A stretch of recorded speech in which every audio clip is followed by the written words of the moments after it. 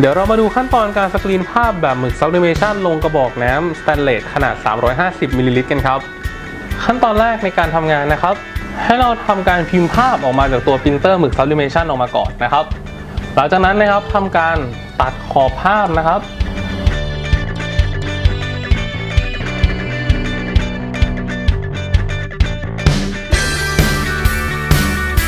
หลังจากที่เราตัดกระดาษเสร็จเรียบร้อยแล้วนะครับ ให้เรานำตัวภาพที่เราตัดเสร็จแล้วนะครับ มาแปะลงตัววัสดุที่เราจะสกรีนได้เลย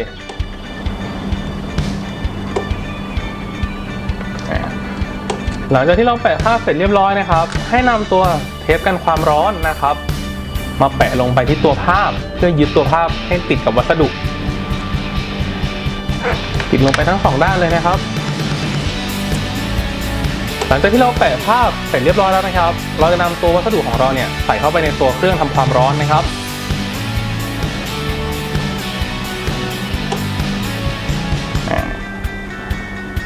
กดคันโยกเข้ามานะครับ หลังจากนั้นก็กดจับเวลา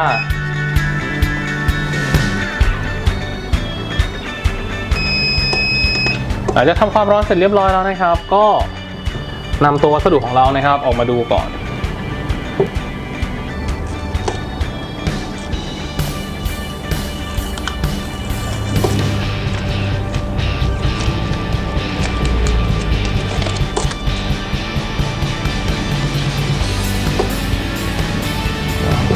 รียบร้อยครับ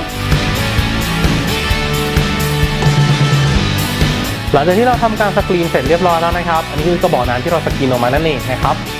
ก็สีได้จะเป็นอย่างนี้เลยนะครับอ่า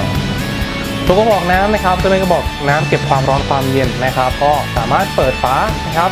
จะมีตัวจุกอยู่ด้านในนะครับอ่าหรือก็สามารถทำการล็อกได้ด้วยนะครับ ด้านในตัวกระบอกจะเป็นอลูมิเนียมนะครับ